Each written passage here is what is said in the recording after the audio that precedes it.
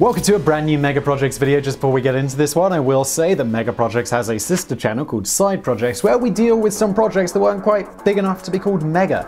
Please do check that channel out. It is linked to below. There are videos on that channel every day. There are not videos on this channel. And let's get into it.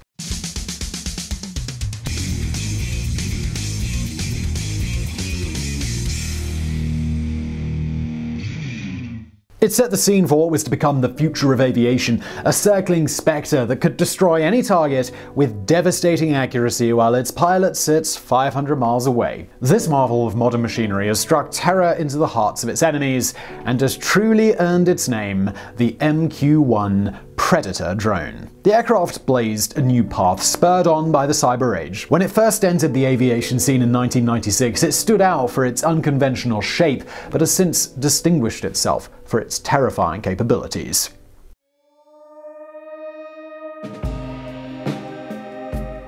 With a technology so industry defining, in order to tell its story, you must go back to the beginning to 1937. At the Model Aircraft Nationals in Detroit, two men, Ross Hull and Clinton DeSoto, were about to make history. These two men were avid aircraft modelers and both were prominent members of the American Radio Relay League because being in your mid 30s and building model planes is apparently not cool enough. Hull was also known to be a particularly gifted radio designer and is notable for making discoveries in the field of radio transmission. With these credentials, the stage was set for the duo to become the first to build and successfully operate an RC glider in a public demonstration, and so begin the age of unmanned flight. It's worth mentioning that unmanned aircraft have been a part of the US military's arsenal for a while, but these early iterations rarely made it past the experimental stage and were little more than an engine with wings, cameras, and a radio wave receiver attached. Fast forward to the 1960s, and the American government was in the midst of the Cold War. The US was finding a great deal of value in spy technology, and at the time, the only operational spy plane at their disposal was the U 2. During an operation over Soviet airspace, one of these planes was shot down, leading to the capture and interrogation of its pilot, Gary Powers,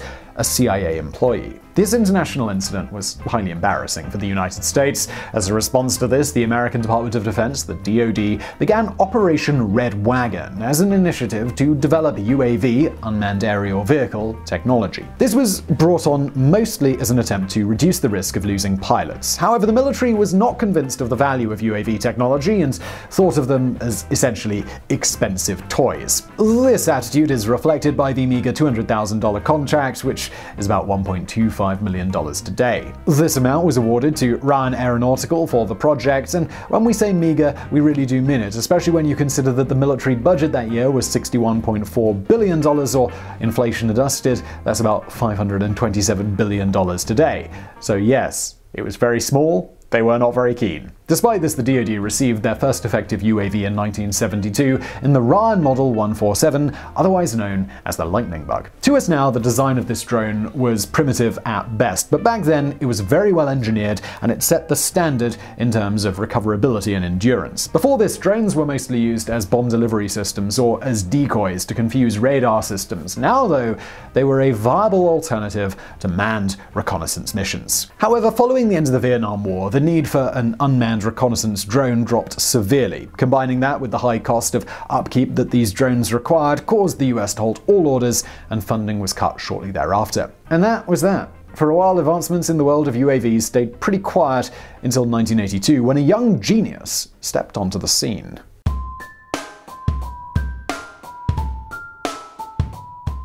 Abraham Karem was born on the 23rd of June 1937 to Jewish parents in Baghdad. The youngest of four children, he was a precocious child who took a serious interest in the way things worked. When Abe was 14 years old, his family moved to Israel, and it was around this time that he began to build model planes. At school, he proved himself to be a highly proficient student, and upon graduation, he received a place at the highly prestigious Technion Institute of Technology in Haifa. He graduated three years later with a degree in aeronautical engineering. After university, he worked for the Israeli Air Force as a pilot before moving to work for Israel Aircraft Industries IAI. It was here that Karem really began to distinguish himself, and he rose rapidly through the corporate structure, finding himself in line to become a vice president of the company after only four years. However, Karem took issue with the corruption and bureaucracy at the top, and he resigned from his position. From there, he decided to move to America and establish his own business developing drones based on his own designs. In 1980, he established a company called Leading Systems, working out of his garage in in Hacienda Heights near Los Angeles. He and two others, Jack Hertenstein and Jim Macon, began development on what was eventually to become the Predator. Together, this small band of nerds produced their first fully capable drone called the Albatross. They took full advantage of some of the patents that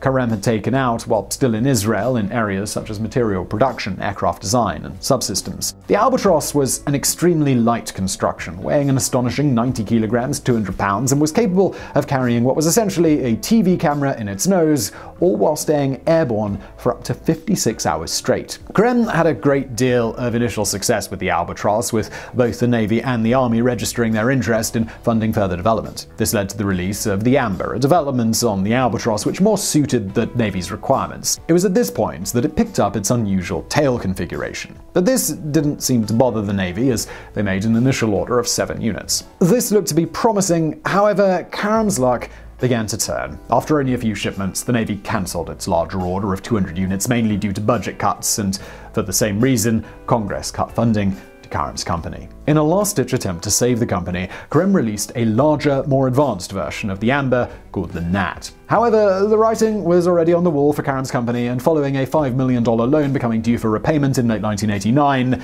it filed for bankruptcy. And, well, that could have been the end of the line for this drone, were it not for two enterprising billionaires called Neil and Lyndon Blue, both brothers and both owners of a company called General Atomics. Seeing the promise of the technologies that Karem had developed, they purchased Leading Systems and all of its assets out of bankruptcy in 1990. They went on to employ Karem and eight other members of his team, who then resumed development of the Gnat. In 1993, one James Woolsey, the then director of the CIA, became frustrated with the quality of the surveillance images coming from satellites that were passing over Bosnia. By this point, Karem was well known in the industry, and more crucially, he was known to James Woolsey, who went to Karem and requested a vehicle that could produce what he referred to as a persistent stare. And so it was that in 1994, a contract was issued to General Atomics for an unmanned craft that was capable of loitering between 35 and 45,000 feet for upwards of 24 hours while fully loaded with surveillance equipment. Just one year later, General Atomics recorded the first flight of the RQ 1 Predator.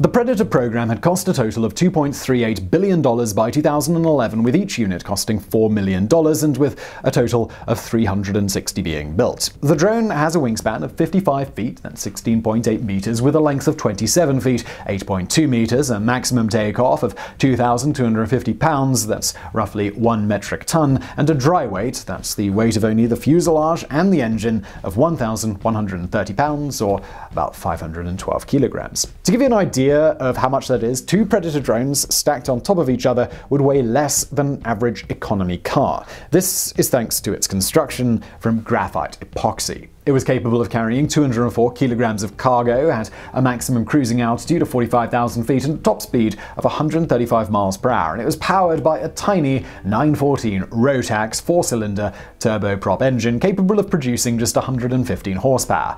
For reference, the Rolls-Royce Trent engines on the Airbus A380 produce 12,600 horsepower. When it is set up in its reconnaissance configuration, it carries a suite of sensors and cameras, including a full-color nose camera used primarily by the pilot to navigate the craft, a variable aperture camera capable of seeing details as small as 6 inches from 20,000 feet away, a night vision camera, and a synthetic aperture radar. When it's in its standard assault configuration, it carries two AGM-114 Hellfire missiles or AIM-92 Stinger air-to-air missiles. Both setups have a laser designation aperture on the nose, which provides the devastating accuracy that this craft has become so notorious for. One of the most distinguishing parts of the drone is its inverted Y tail configuration, which was designed in order to protect the propeller blades from hitting the ground in the event of a crash. The Predator was given the designation RQ-1 when it first qualified in 1994, the R being the DoD's designation for reconnaissance. The Q designated that it was an unmanned aircraft, and the 1 was just because it was the first of this design. However, in 2001, the craft was given its final and best known designation, the MQ-1 Predator, the M representing its use as a multi-role aircraft. The design philosophy behind the Predator drone was to produce a vehicle that was capable of loitering high above the battlefield or areas of interest for extended periods of time, so to allow a constant flow of tactical information to be transmitted to commanders both on the battlefield and back at base. This gives a significant advantage in battles, all while presenting no risk to the life of a pilot. However, it became apparent shortly after it started service that the Predator was capable of much more than just information gathering, as we'll soon find out.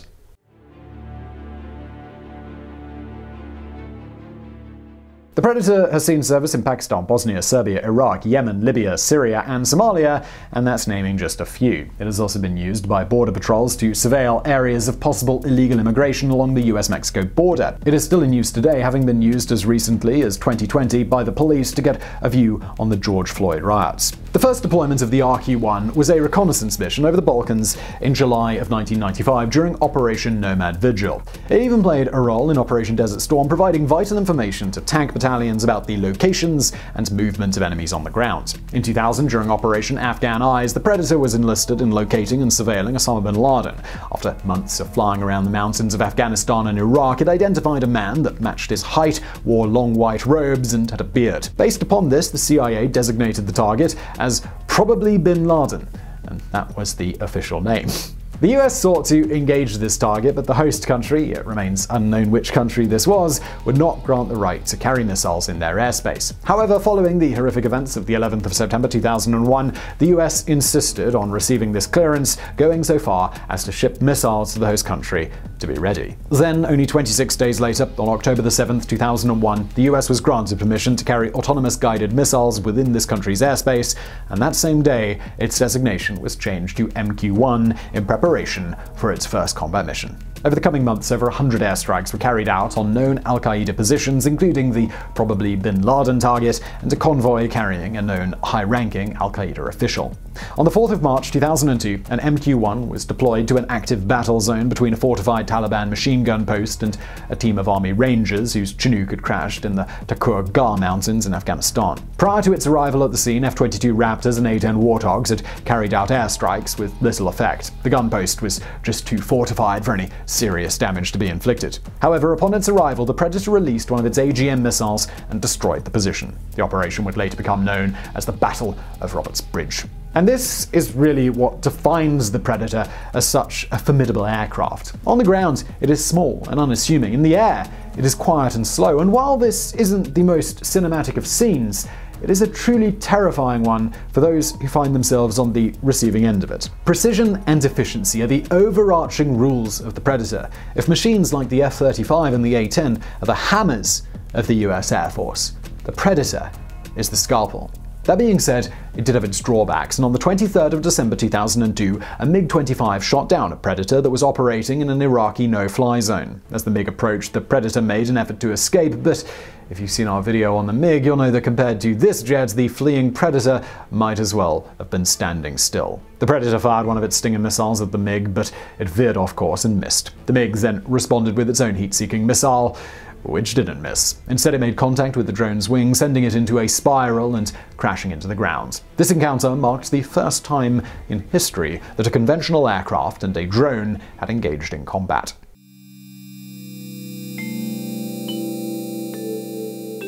The Predator had a successful career spanning over 20 years. In October of 2015, General Atomics delivered the very last RQ-1 to the Italian government, and in 2018, the USAF announced the retirement of the last of its Predator drones. It was replaced with the MQ-9 Reaper drone, which is essentially the Predator's bigger, badder brother. Today, they are still in use, mainly for civilian purposes, such as wildfire prevention, civil protection, and by a few militaries around the world. Now, if you're a regular viewer of mega projects, you'll know that a 20 year lifespan for any vehicle is not a particularly significant amount of time when compared to that of, say, the B 52 bomber or the U 2 spy plane. But think about what has changed in the last 20 years GPS, smartphones, the beginning of the cyber age. Think about how long your phone lasts before it becomes obsolete. For this machine to have remained relevant for as long as it did is quite the achievement, and as technological progress roars ahead at an ever increasing rate, it will be a long time before any one machine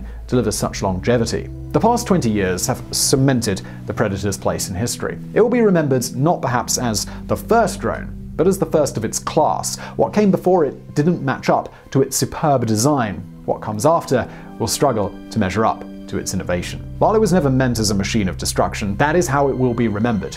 Whether that's for the better or for the worse, well, that's not for us to decide. So I really hope you found this video interesting. If you did, please do hit that thumbs up button below. Don't forget to subscribe. Please do check out our sister channel side projects if you are so inclined. There is a link below. And thank you for watching.